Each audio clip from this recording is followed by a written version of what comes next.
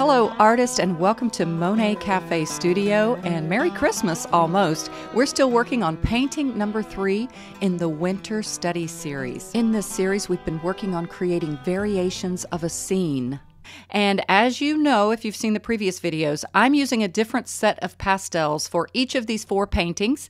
And in paintings number one and two, I used, actually, let me zoom into the most recent one is number two, and I used a small set of Sennelier pastels. They're 40 half stick set.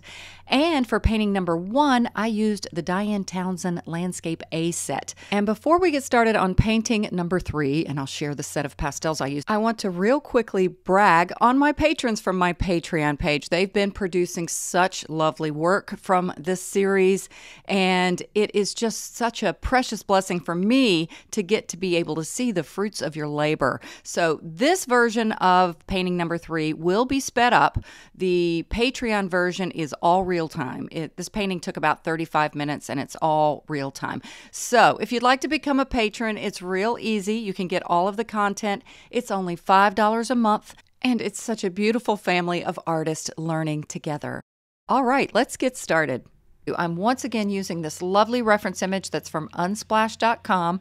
I will have that in the description of this video along with all product links. The surface is Canson Mi-Teintes pastel paper. It's an unsanded pastel paper that's quite affordable and great for beginners. What I used was a page out of the Gray Tones pad. There's 24 sheets. Each sheet is 12 inches by 16 inches. I used the, I think it was the second to last color in that. It's a kind of a tan color. And by the way, they do have smaller pads available. And again, you can use whatever surface you have. Now, here is the set of pastels I'm using for the third painting. Uh, I have one that's missing. I misplaced it somewhere, I guess. You probably recognize these as Terry Ludwig pastels by their rectangular shape. And this is the Richard McKinley set. I do love this set. I thought it had some really beautiful colors for wintry scenes.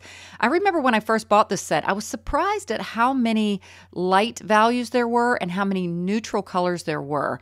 Um, I find that it comes in really handy, even if I'm not creating a full painting with this set, it just has some really great colors. Another thing I mentioned in one of the previous uh, videos, tutorials of this series, is how differently the pastels applied to an unsanded surface. And after I finish the fourth painting, which will be a separate tutorial, I'll give my uh, final synopsis on which ones I believed really performed so nicely on this Canson Mi-Teintes pastel paper.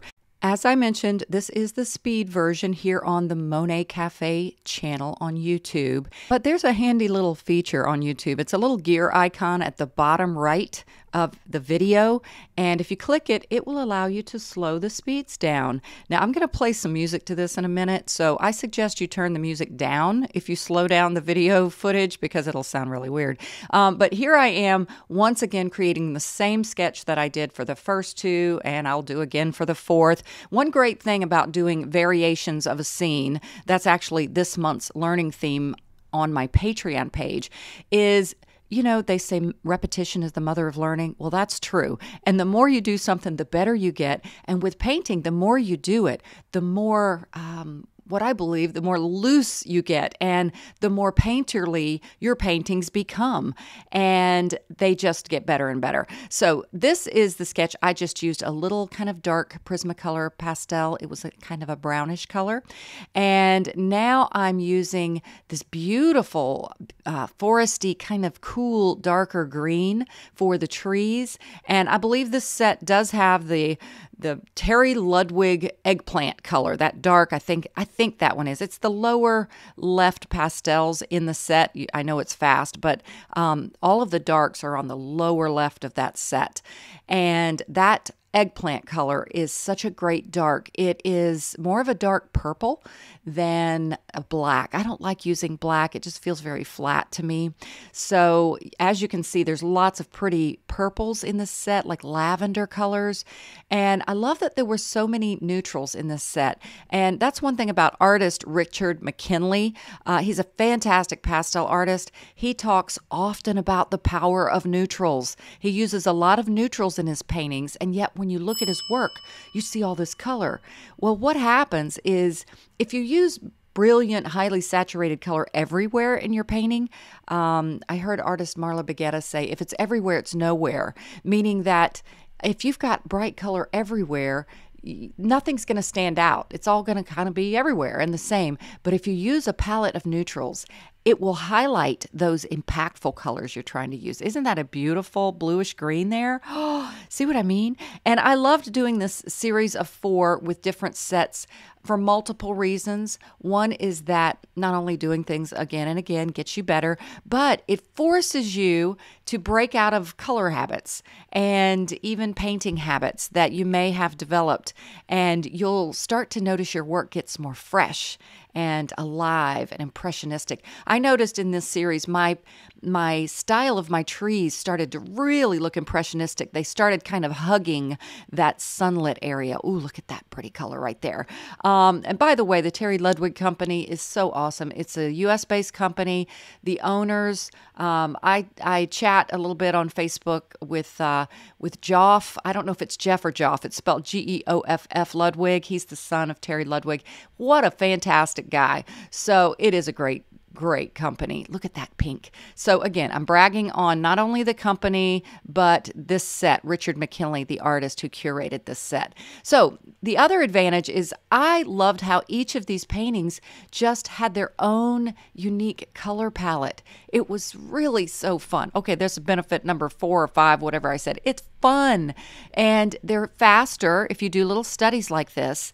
And I thought this would be great for the holiday season. That's one of the reasons I chose this theme for my Patreon page. I wanted some paintings that were manageable for my artist and my Patreon group to follow during the crazy holiday season. And the the paintings that I shared from my patrons, that's just a snippet of some of their work oh my gosh, they're I'm just in awe of how great they're doing. We have something called a homework album where they can share their work, and um, I do a little review of that each month. So anyway, just bragging on them, they're so great. Um, so you can see how this is coming along. I think it's almost done. Look, I'm going to talk through this whole video. I might as well just keep talking. Look, it's almost done. No music is coming, by the way. so, but man, these colors are just yummy. I loved some of those blues in the shadows of the road. By the way, with snow painting paintings. I've shared this in uh, the other two videos. For shadows, blues and purples are just awesome. Um, but in painting number four, you're going to see I got a little crazy um, with a set that had colors. I was like, I don't know if I'd use this for a winter painting, but it worked. So stay tuned for painting number four. Now, here you can see painting number four in the lower left there. So that one is on the horizon next week, probably. All right, guys, I'm so happy you've joined me for this tutorial. Please give this video a like, a thumbs up. It really helps leave me a comment. That also helps so much. And become a patron if you'd like to join my Patreon family. All right, everyone, Merry Christmas and God bless and happy painting.